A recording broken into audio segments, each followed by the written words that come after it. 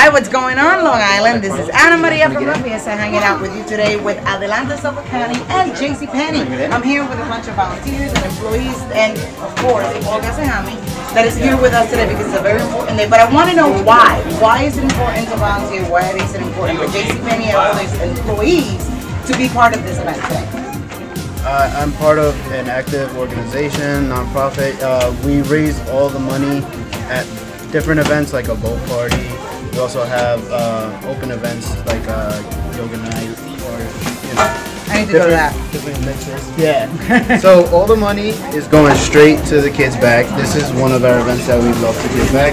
You tell me why is it important for JC Penney and for you, you know, in particular, to be part of this event? Okay, so uh, my name's Donovan, I'm the store manager, and when Adelante reached out, um, I live down the block, so I've lived in Brentwood for the past 35 years, my entire life. Uh, my parents, I always got hand-me-down clothes from my cousins, so it's not a great feeling.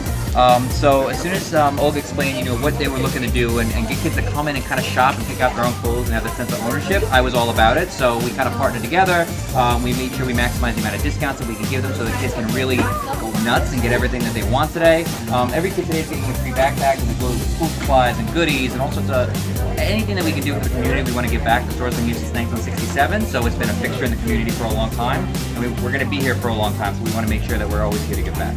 No, I just want to say that this is the third annual year that we're doing this, and we appreciate the partnership that we have with you, and uh, we, we love, love, love that we have the opportunity to be out in the community to help and give back. So thank you. Uh, it's my first year doing it, and it's definitely going to be a lot more. I've been touched for this event, by this event, and I have a two-year-old at home, and today has taught me a lot, that I have to pay a lot of attention and check sizes and I um, I did not leave the kids unattended. They're with uh, one of my friends, and I'm gonna go back to them. I just want to give a shout out to all the organizations, the volunteers that are here first, and all the organizations that have helped us, Essential Stipeni, um, La Liga de Justicia, Radio La Fiesta, Dr. Ron Mark, um, Jennifer and Keith Bowles, know, Sisters of St. Joseph. We yes. have the parents over there. They made donations also.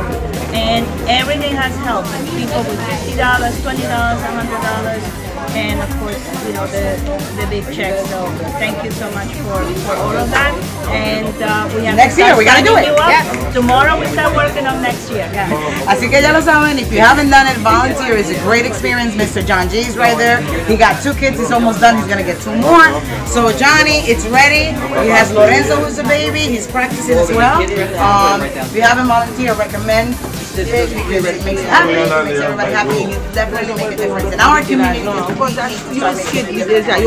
So thank you to all the sponsors, thank you. To all the kids for behaving, and thank you for the things, Magazine, all right?